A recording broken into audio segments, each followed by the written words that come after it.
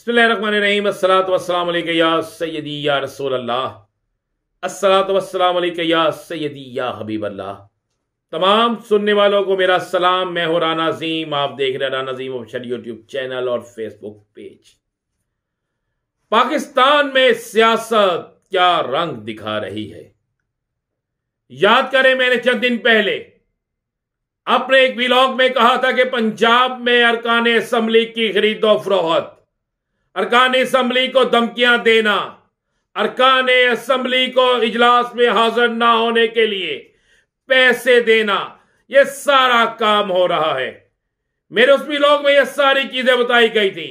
आज बाकायदा सबक वफाकी वज़ीर इतलात फवाद चौधरी ने भी अपनी प्रेस कॉन्फ्रेंस मीडिया टॉक में इस बात का इंकशाफ किया। मैंने बताया था कि कुछ खातन अरकान असम्बली को खरीदने की कोशिश की जा रही है। आज उसका भी इतराफ कर लिया गया। अब पंजाब की सूरत हाल इतनी इतनी गमगीर हो गई है कि जिसके इंतहा कोई नहीं है। इस वक्त वफाक और पंजाब में एक इंतहाई जंग जारी है। हर सूरत में कप्तान की टीम को पंजाब से आउट करने के लिए हर सूरत में पंजाब असम्बली की तहलील को खत्म करने की या रोकने के लिए हकूमत अपने हर खत करने को इस्तेमाल करने के लिए तैयार है। हुकूमत ने पहले गवर्नर राज लगाने के लिए समरी भेजी। मैं आपको तस्दीक शुदा बात कह रहा हूँ। उस समरी को बाकायदा वापस भेज दिया गया। और सदर पाकिस्तान की तरफ़ से वाजे तौर पर जवाब मिल गया कि ये गवर्नर राज किसी सूरत में मैं इसकी इजाज़त नहीं दूँगा। एस्टेब्लिशमेंट डिवीज़न को कहा गया, वहाँ पे पता चला कि इससे नुकसान होगा और आला अदलिया किसी वक्त भी कुछ भी कर सकते हैं। अब दो ऑप्शन दो ऑप्शन मैं आपको बता रहा हूँ। उसको इस्तेमाल करने का फाइनल फैसला हो गया है। एक वज़ीर आला को डी नोटिफाई करने का फैसला साइन हो चुके हैं, मगर बैकडोर रबते किसी और जगह से जारी हैं। बैकडोर रबते यह जारी है कि अगर वज़ीर अला पंजाब को रात 12 बजे के बाद डी डी नोटिफाई कर दिया जाता है तो इतना सख्त इकदाम के बाद पीटीआई का रद्द अमल क्या होगा? पीटीआई ने गवर्नर हाउस के बाहर पंजाब में गवर्नर हाउस के बाहर कॉल दे दी है। पाँच बजे इतदाद की, पाँच बजे तमाम अरकान असम्बली, पीटीआई के कारकुन सैकड़ों ने हज़ारों की तादाद में वहाँ पहुँच रहे हैं। मुमकिन है कि कप्तान भी उस एहतजाज से बाकायदा खताब करे। एक बड़ा मुजाहरा होने जा रहा है। यानी हालात इस कदर संजीदा, हालात इस कदर खराब हो चुके हैं कि गवर्नर हाउस में से बाकायदा रेंजर को बुलाने का फैसला हो चुका है। ये मैं खबर दे रहा हूँ, गवर्नर हाउस से किसी वक्त में ये रेंजर को खत लिखा जा सकता है, या रेंजर को मरासला जारी किया जा सकता है कि गवर्नर हाउस की सिक्योरिटी रेंजर के हवाले की जा सकती है। गवर्नर पंजाब की सिक्योरिटी रेंजर के हवाले की जा सकती है। मुमकिन तौर पर के कहीं पीटीआई के कारकुन एहतजाज की सूरत में गवर्नर हाउस पर हमला ना कर दे। और दूसरी एक और आपको बड़ी खबर दे दूँ।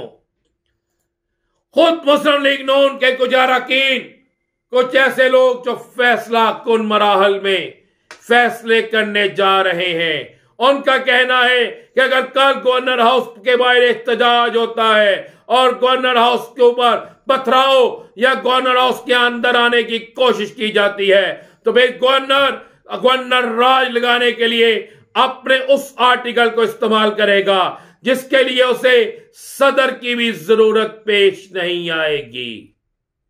यानी ये ऑप्शन भी खौफनाक ऑप्शन भी किसी वक्त भी इस्तेमाल किया जा सकता है। कल के लिए यह भी तैयारी है। अगर आज रात को डी नोटिफाई नहीं किया जाता तो फिर दूसरा ऑप्शन ये होगा। और तीसरा ऑप्शन मैं पहले भी में बता चुका हूँ वही अदालत जाने का। यानी हर सूरत में तेईस दिसंबर को पंजाब असम्बली की तहलील रोकने के लिए नॉन लेक अपना हर हथकंडा इस्तेमाल करेगी। लाहौर के एक फाइव स्टार होटल में एक मीटिंग हुई है, जिस मीटिंग में सिंध से तल्लक रखने वाले दो वज़ीर भी शामिल थे। इस मीटिंग में पीपल्स पार्टी और नॉन लीग के अहम तरीन अफराद भी शामिल थे। इस मीटिंग में फैसला किया गया कि फौरी तौर पर अगर किसी अरकान असम्बली को खरीदा जाता है तो उसकी खरीदो फरोहत जो है, वो इसी होटल के अंदर की जाए।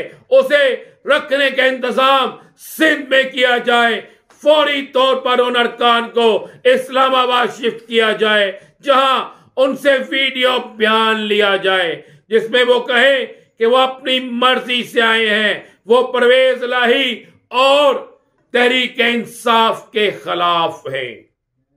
ये बकायदा प्लानिंग की जा रही है। कुछ लीग की रहनुमाओं का ख्याल है कि डी नोटिफाई डी नोटिफाई करने के नोटिफिकेशन पर साइन हो चुके हैं। इंतज़ार हो रहा है आज रात 12 बजे का। 12 बजे के बाद अगला दिन शुरू हो। किसी वक्त भी कुछ भी कर दिया जाए। अगर ऐसा हुआ तो फिर मुस्लिम लीग का फौरी तौर पर अदालतों का रुख करेगी। और अगर ऐसा ना हुआ तो फिर मुस्लिम लीग का और तहरीक इंसाफ में आपको बड़ी खबर दे दूँ। वो तैयार हो गए हैं अदम इतमाद का सामना करने के लिए और इतमाद की तहरीक का सामना करने के लिए। ये ऑप्शन इस्तेमाल करने के लिए वो तैयार हैं। वो बकायदा दोनों ऑप्शनों के लिए तैयार हैं और कानूनी महाज पर भी तहरीक इंसाफ जो है, वो हर महाज पर लड़ने के लिए तैयार बैठी है। और उसकी तैयारी में बाकायदा इस वक्त भी जब मैं आपसे गुफ्तगु कर रहा था, कर रहा हूँ, जब मैं इस मिलाद को रिकॉर्ड करा रहा हूँ, उस वक्त में यह मीटिंग जारी है। एक और बड़ी खबर ब्रेकिंग न्यूज़ आपको दू।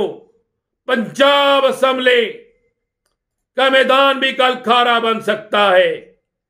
मुस्लिम लीग नून, कुछ फैसले करने जा रही है कि पंजाब असम्बली के अंदर ज़बरदस्ती जाया जाए और वहाँ पर एक ज़बरदस्ती इजलास बुलाया जाए। लेकिन ऐसा होता मुमकिन नज़र नहीं आ रहा। कुछ जराए कहते हैं कि नॉन लीग पीपल्स पार्टी को किसी तरफ़ से यह पैगाम पहुँच रहा है कि आप इंतहाई कदम मत उठाएँ। आपके इंतहाई कदम उठाने से मुल्क के हालात बेहतर नहीं, बल्कि खराब और बदतरीन हो सकते हैं। और मुल्क के हालात बदतरीनी की तरफ़ गए तो फिर वफाकी हुकूमत भी किसी वक्त भी टूट सकती है। वफाकी हुकूमत के खिलाफ कोई बड़ा एक्शन भी हो सकता है। सराय इस बात की भी तस्दीक कर रहे हैं कि अहम तरीन बैठक में अहम तरीन फैसले हो चुके हैं। एक दफ़ा फिर चौधरी परवेज लाई को ऑफ़र की गई है, मगर चौधरी परवेज लाई ने फिर ऑफ़र को ठुकरा दिया है। कप्तान की टीम इंतहाई तरीके से काम कर रही है। कहा किसको कॉल गई, कौन किसको कॉल करा रहा है, कौन किसके खिलाफ किस तरह जा रहा है, कप्तान ने तमाम रिकॉर्ड इकट्ठा कर लिया है। कल बड़ा अहम दिन है। कल के दिन में पंजाब के हवाले से अहम तरीन फैसला हो जाएगा। बल्कि मैं आपको यह खबर देता चलो, कि अब अहम तरीन फैसलों का वक्त शुरू हो गया है, और इन अहम तरीन फैसलों में सिर्फ़ पंजाब का नहीं, बल्कि कुछ और भी बड़े अहम तरीन फैसले बजक वक्त होने जा रहे हैं। बड़े फैसले क्या हैं, इसके लिए इंतज़ार कीजिएगा। मेरे अगले वीलॉग का आपको दूँगा एक बड़ी खबर। जो किसी के पास नहीं होगी। इजाज़त दीजिए। अल्लाह हाफिज।